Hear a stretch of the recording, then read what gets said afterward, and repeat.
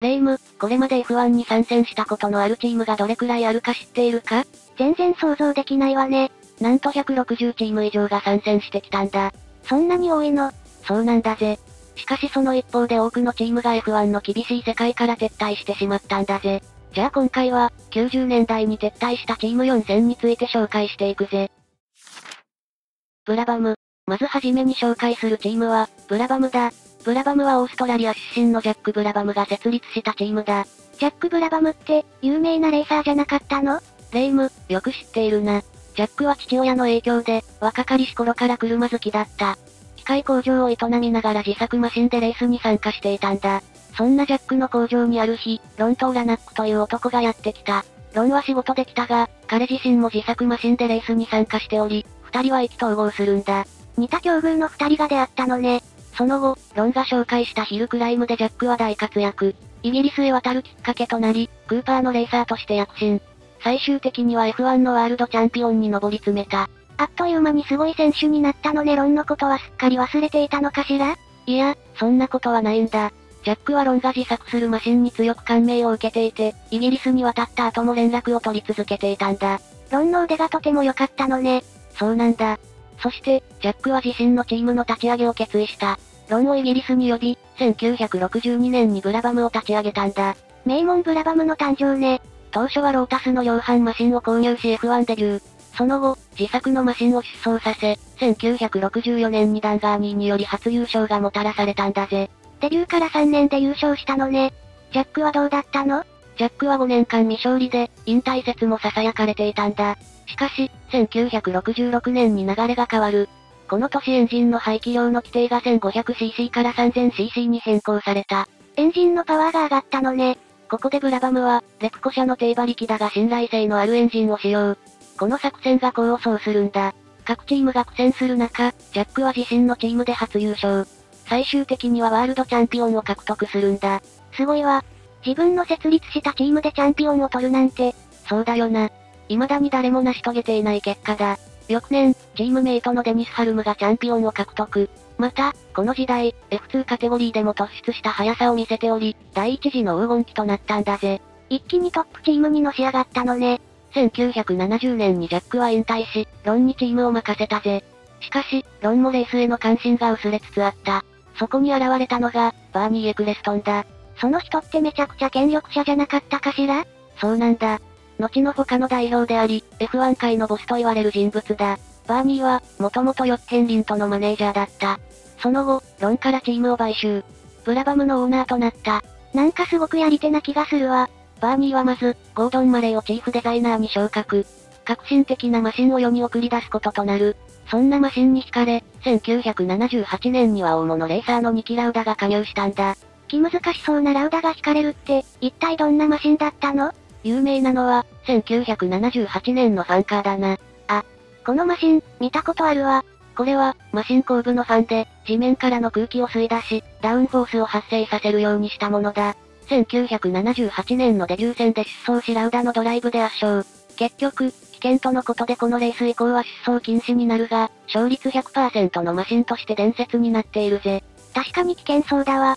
速さを築いたブラバムだったが、1979年に流れが変わった。ラウダがシーズン途中に突如引退を発表するんだ。何があったの？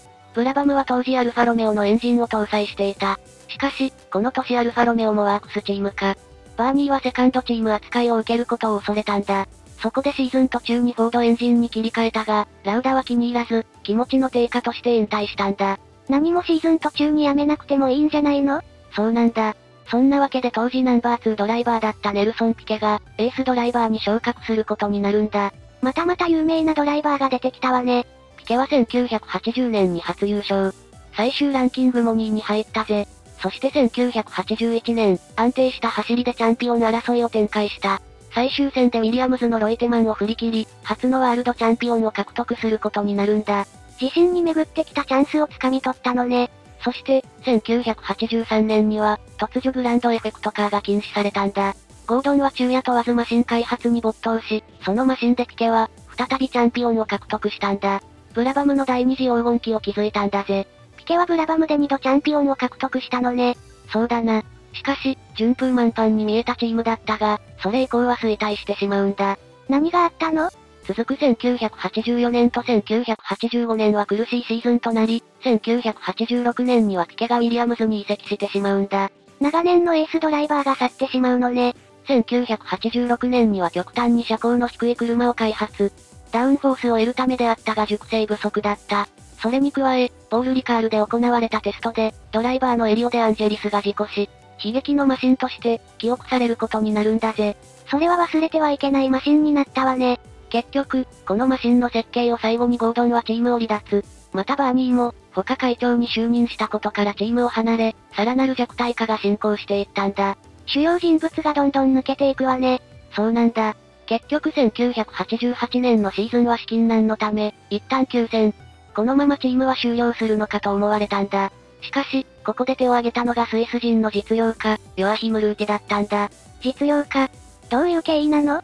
ルーテはもともとレーサーに憧れていたが挫折。金融業界で成功した後、再びレースに関わりたいと考えていた。ちょうどその頃、イタリアのチームユーロブルンのオーナー、ウォルター・ブルンがブラバムの買収を検討していた。そこに接触したのがルーテだったんだ。レースに関われると思ったのね。そうだな。しかも最終的にブルンは多忙のため、この買収話を売り、ルーティ単独での買収となったんだ。棚からぼた持ちね。しかも、ルーティ単独で買収できる財力も持っていたのね。そう思うよな。翌年の1989年、ルーティは横領のため、逮捕されてしまうんだ。え、どういうことなの？ルーティは自身の投資会社の資金、約110億円を不正に使用。その資金はブラバム買収に充てたとされている。そんな裏があったのね。結局、ルーティ自身の会社が倒産。またもやブラバムはチューブラリンになってしまった。今度こそ本当に終わってしまうのかしら？いや、まだ終わらないんだ。今度は日本人実業家の中内氏が率いる、ミドルブリッジレーシングに買収されたんだ。日本人がオーナーの F1 チームが存在したのね。一体どんなチームだったの？1986年にイギリスで誕生したレーシングチームで、F3 や F3000 に挑戦し、徐々に結果を出していた。中内氏がオーナーになったため、数多くの日本企業のスポンサーがつくことになったんだぜ。これで資金難から脱出できたわね。しかし、その時代も長くは続かなかった。どういうことなの？ことの発端は1992年のシートをめぐってだ。この年日本での活躍が認められ、中谷明彦の起用が確定していた。日本人のドライバーを起用しようとしたのね。しかし、中谷に対し、FIA がスーパーライセンスの発行を認めなかったんだ。どうしてなの？ライセンス発行基準を満たしていないためとのことだが、物議を醸されることになるんだ。それと同時期に、日本ではバブル景気が崩壊。この2点が影響し、多くの日本企業がスポンサーを降りるんだ。最悪の状態ね。ブラバムは中屋の代役として、女性ドライバーのジョバンナ・アマテを起用。しかし、話題性重視の起用は難しく、アマテは予選落ちを連発。最後はスポンサー料の未納で解雇されてしまう。何かしら？この名門の低たらくは、アマテの代わりには、デイモンヒルを起用。しかし資金難は改善せず、1992年のハンガリーグランプリをもってチームは消滅してしまった。その後、翌1993年と2009年に復活の話もあったが、結局両方とも頓挫しているぜ。レイトンハウス。次に紹介するのが、レイトンハウスだ。レイトンハウスは1980年代の後半に誕生したチームだが、そのチームの誕生には、二人アキラが存在する。なんか面白そうな話ね。一人目が赤木明氏だ。赤木氏は30代前半で不動産会社の丸商工さんを設立。いわゆる土地神話で成功した青年実業家であった。土地は必ず値上がりするという、バブル経済絶頂期の事業モデルなのね。レイム、詳しいな。そしてもう一人が、萩原明だ。萩原明は1956年生まれのレーシングドライバー。彼は幼少期から非常にレーサーに憧れていた。その憧れから、当然無免許であった14歳の頃からこっそり運転。また運転できる環境を求め、暴走族に所属するなどしていた。なんか昭和のレーサーって感じね。70年代後半にレーサーとしてデビュー。順調にステップアップ。またあの、星野和義氏の愛弟子としても知られていた。徐々に日本のレース界の顔になってきていたのね。そんな萩原氏はある日、スポンサー獲得のため、赤木氏の元に飛び込み営業をかけに行った。赤木氏はそんな萩原氏の熱意に押されスポンサーを快諾。1984年の富士 GC 最終戦、丸商工さんのロゴを入れるんだ。お互いすごい行動力ね。でも、レイトンハウスという名前はどうして付けられたの？いい質問だな。実は、赤城市の車内でレーシングカーに漢字のロゴは格好悪いとの意見が出始めたんだ。そこで赤城市は、自身の知人の娘がイギリス留学した際に聞かされていた小さな町、レイトンに注目したんだ。さらに、社内の女性社員がハウスを付け足した。そして誕生した名前が、レイトンハウスだったんだぜ。赤城氏は、社員の意見もしっかり聞く人物だったのね。そうだな。その後、1985年にはルマン24時間に参戦するトムスとスポンサー契約を結ぶ。トムス社長の立ち氏がレイトンハウスとは何ですかと聞くと、実態はこれから作ります。と話したという。実態がない名前をロゴにするなんてすごい自信の表れね。そして1986年には大きく舵を切ることになるんだ。正式に、レイトンハウスレーシングを設立。そのメインドライバーとして萩原氏を抜擢したんだ。スポンサーという枠を飛び出したのね。またこの頃、東京に本社を構え、レイトンハウスの名でアパレル事業を展開。最終的には年商20億円を生み出すブランドとなったんだ。実態はこれから作りますの言葉は、本当だったのね。そうなんだぜ。当時はホンダや中島悟の活躍によって、日本国内のモータースポーツの人気は上昇していた。レイトンハウスもその流れにうまく乗れたわけだが、ここで悲劇が発生するんだ。何があったの？メインドライバーの萩原氏が、事故死してしまうんだ。え、嘘でしょ？スポーツランド素顔でのテスト走行中のことだった。第2コーナーを曲がりきれず突っ込み炎上。またこのテストには赤木氏も来ており、目の前で起きた悲劇だったんだぜ。これからという時に、お気の毒だわ。この事故にショックを受けた赤木氏。一度はレース事業から撤退しようとまで思い詰めるんだ。しかし、萩原氏の遺族たちから続けてほしいと強い思いを受け、レース事業を続行することとするんだ。辛い時期をみんなで乗り切ろうとしたのね。赤木氏は、国際 F3000 に出場中の中島悟のスポンサーも行っており、感染のため、欧州に向かった。するとそこで、当時国際 F3000 のタイヤ供給をしてた、ブリヂストンの安川氏からある人物を紹介されたんだ。誰なのかしら？それは同じく国際 F3000 に出場中の、イバン・カペリだった。カペリはすでに F1 のスポット参戦も経験しポイントも獲得。赤木氏が観戦したイモラのレースも優勝するなど、実力十分のドライバーであった。すでにいいドライバーだったのね。しかし、カペリは当時スポンサー獲得に苦労していた。赤木氏はそんなカペリと軽く会談したんだ。すると、赤木氏はカペリの人柄に大変に惚れ込んだんだ。赤木氏はカペリを萩原氏の公認として、レイトンハウスのエースドライバーとして迎え入れることとした。カペリはそんなにいい人だったの？そうなんだ。彼の人間性と赤木氏の寵愛ぶりが現れたエピソードは後ほど紹介するぜ。知りたいわ。レイトンハウスの一員となったカペリは、赤木氏の期待に応え来日後、日本のレースで結果を出した。その後、国際 F3000 でもチャンピオンを獲得。このことが F1 進出へ大きく繋がるんだぜ。どういうことなの？カペリは、マーチのマシンで F3000 のタイトルを獲得するぜ。マーチの共同設立者、ロビンハードとカペリのマネージャーのチェーザレ・ガリボルディは10年来の仲であった。ハード以前からカペリでの F1 進出を模索しており、イアン・フィリップスという人物をマネージャーとしていた。フィリップスはどんな人物なの？彼はジャーナリストで、他の設立に一役を担った人物だ。ちょうど、日本で仕事をしており赤木氏とも面識があった。以上から、ドライバーはカペリ、スポンサーはレイトンハウス、マシンはマーチ、チームマネージャーはフィリップスという、すべてのピースが揃い1987年からの F1 進出を実現したんだぜ。奇跡的に全てがいいタイミングで揃ったのね。そうなんだ。1987年はカペリの1台体制。この年はジョイントという形で、マーチのコンストラクターで出場したんだ。初年度は一度入賞をするも、完走6回と苦しい成績を収めるのだが翌1988年、チームに追い風が吹く。何があったの？まずバブル経済の影響でレイトンハウスから多額の資金を入手。すると、エイドリアン・ニューウェイをチームに合流させたんだ。あの空力の鬼才が合流したの？そうなんだぜ。ニューウェイにより開発されたマーチ881は空力を徹底追求。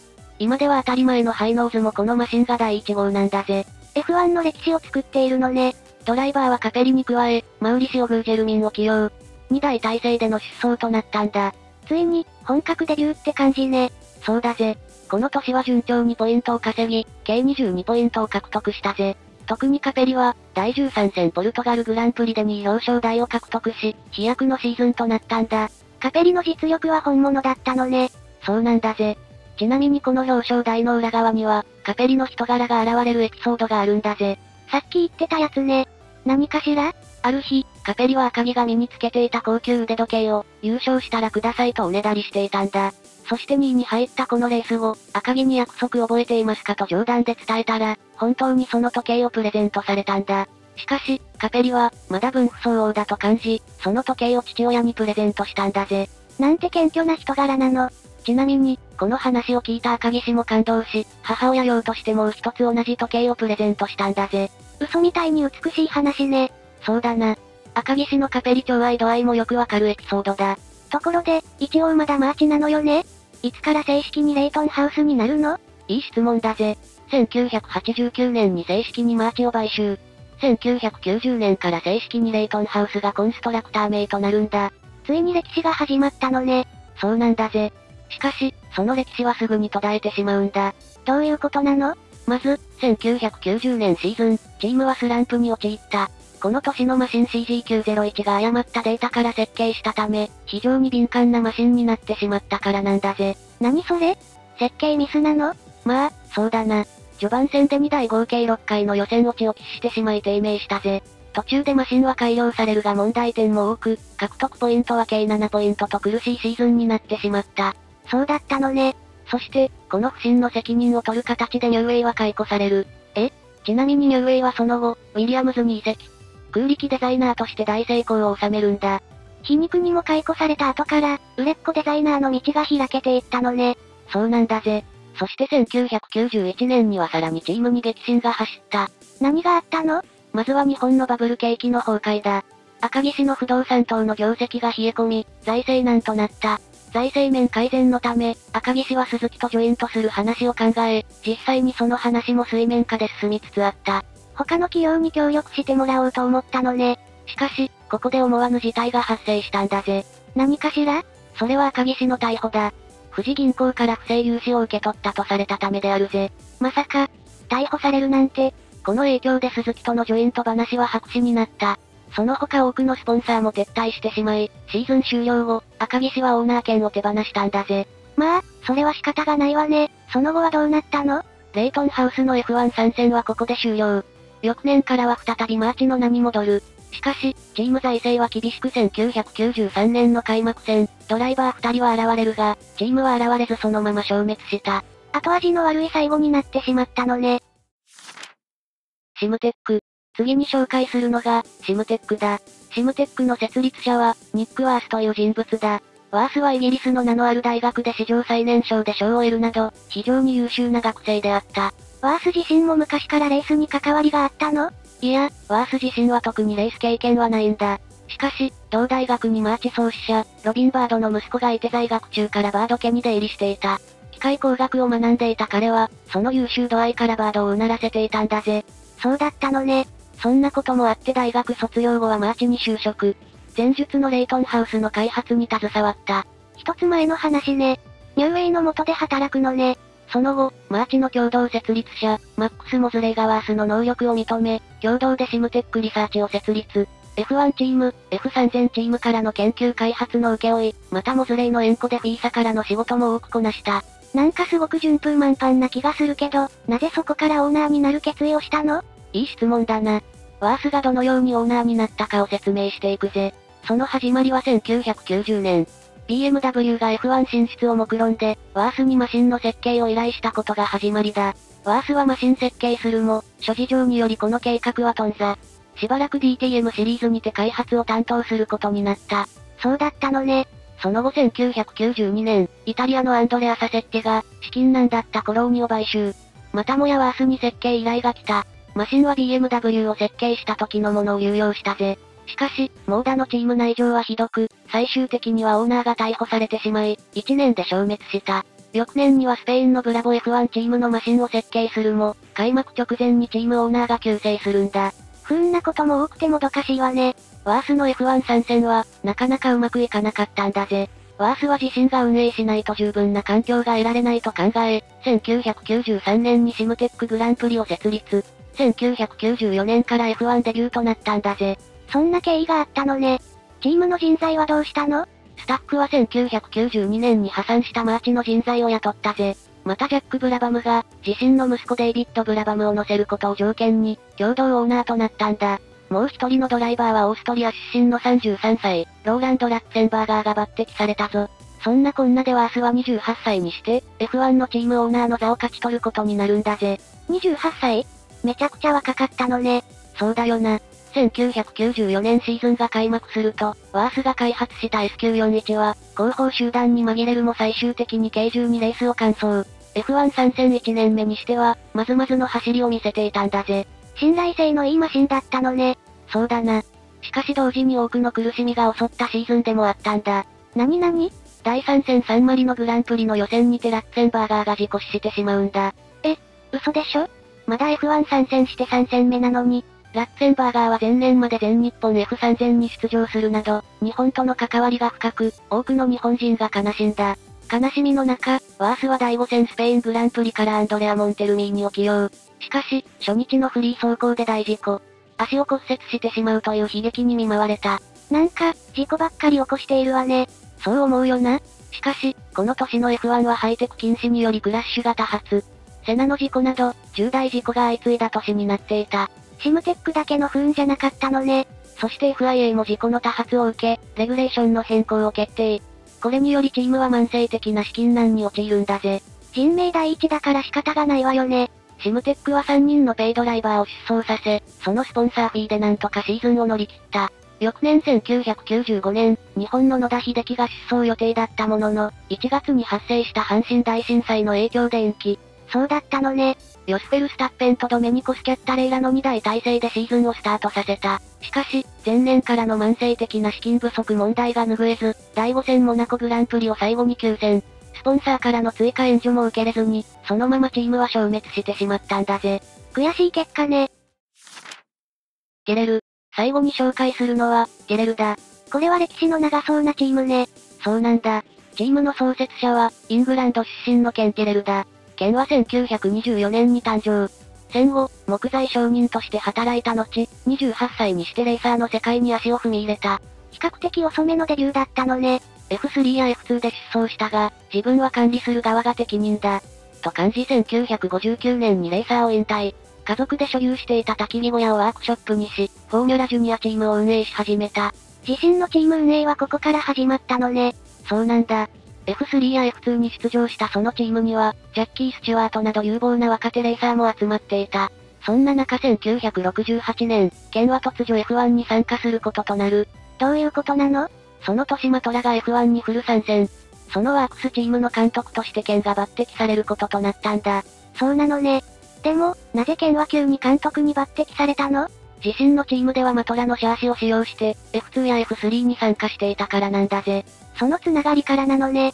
ドライバーは、前年 BRM を脱退したスチュワート。エンジンはフォード DFV。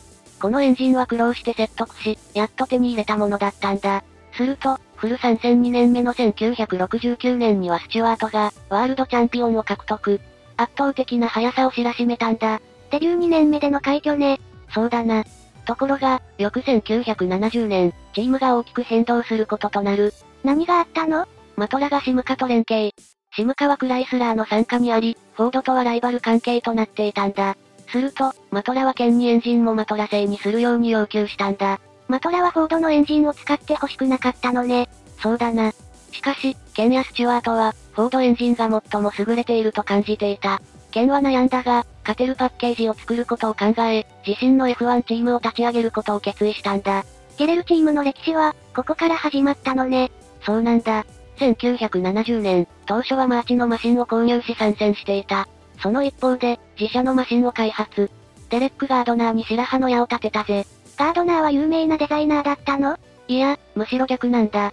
ガードナーはマトラの駆動系のエンジニアで、マシン設計の経験はないに等しかったんだぜ。そうなのね。無事に完成できるのかしら。当時、マーチ創設者のロビン・ハードのような航空力学のスペシャリストが F1 の設計を行う時代。だからこそ、失うものは何にもないと奮起したガードナー。自宅にこもり、ティレル1号機の開発に奮闘したんだぜ。いい環境じゃなかったからこそ、燃え上がったのね。そしてシーズン途中、ゲレル001が投入。初戦から優勝争いに加わる高い戦闘力を見せ、周囲を驚かせた。翌年1971年には他を圧倒する速さで、スチュワートが自身2度目のタイトルを手にしたぜ。一気に頂点に上り詰めたのね。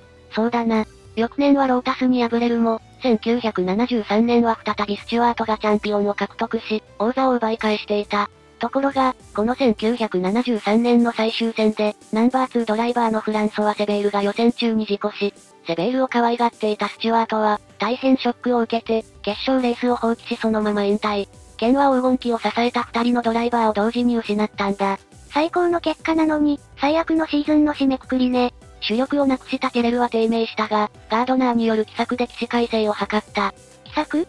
一体何なのかしら？1976年に登場した六輪車、P34 だ。このマシン有名よね。でも、六輪車にするメリットはあったのかしら？いい質問だな。ガードナーはマシン設計当初から前輪の大きさによる空気抵抗に疑問の目を向けていた。タイヤを小さくすることで空気抵抗を減らし、失ったグリップの改善のため、隣にもう一つタイヤを並べたんだぜ。そうなのね。常識にとらわれない発想ね。しかしハンドルが重たくなるなどのデメリットもあり、当初ケンすらも疑問の目を向けていた。だが、シーズンが始まるとこの P34 は好調。スウェーデングランプリでワンツーフィニッシュを獲得するなど躍動。コンストラクターズランキング3位の位置につけたんだぜ。しっかり結果を残せてよかったわね。だが、翌1977年は低迷。これはグッドイヤーの前輪の開発が前向きに進まず、遅れていったことが原因とされているんだ。グッドイヤーも蹴れるだけのためにタイヤを作れないものね。結局、1978年には通常の四輪タイヤに戻した。ガードナーもチームを離れ、モータースポーツとも距離を取った。ガードナーも少し疲れたのかしら？?1980 年代に入ると、ターボエンジンが出現。NA エンジンのテレルは時代に乗り遅れ苦戦を強いられた。そうだったのね。1984年には水タンク事件を起こす。マシンの最低重量をクリアするため、レギュレーションの間を縫って実行。しかし、後に違反とされ、その年の全リザルト剥奪という判定を受けるなどごたごたした状態が続いた。違反はいけないけど、なんとか工夫して結果を残そうとしていたのね。そうだったのかもな。1989年にはターボエンジンが禁止となる。エンジンパワーが少なくなり、いいデザイナーの存在がチームにとって大事になってきたんだぜ。前述のニューウェイとかがまさに必要な人材だったのね。そうなんだぜ。そこで1989年、フェラーリからハーベイ・ポスルスウェイトを招集するんだ。彼を責任者としてデザインされた019のハイノーズは、当時は特徴的な形だったが、その後 F1 の基本的な形となるんだ。時代を先取ったマシンだったのね。1990年はジャン・アレジと日本の中島悟がドライブした。計16ポイントを稼ぎ、好調なシーズンを送る。さらに1991年、ホンダエンジンを搭載するぞ。さらなる飛躍を目論んでいたんだ。しかし、エンジンとシャーシのバランスが悪く低迷。中島の引退でジャパンマネーを失い、またメインスポンサーのブラウンとも契約が切れ、チームは財政難になった。好不調の波が激しいわね。1993年には片山右京がドライブするとともに、ヤマハエンジンを獲得。1994年にはマーク・ブランデルが3位表彰台を獲得するも、結果的にこれが最後の表彰台となるんだ。そうだったのね。1997年には中島悟が代表を務める中島企画と連携。2000年までに勝利とチャンピオンを獲得する目標の、ゲレル2000という計画が出された。すごく活気に溢れているじゃない。そう思うよな。ところが翌1998年に BAT がチームを買収することが発表されたんだぜ。あれ？計画はどこに行ったの？さらには、この買収計画に伴うチーム編成で剣が激怒。剣は、ゲレルとしての最終戦の日本グランプリにも姿を現さず、約30年続いたチームは終焉した。最後は少し後味が悪いわね。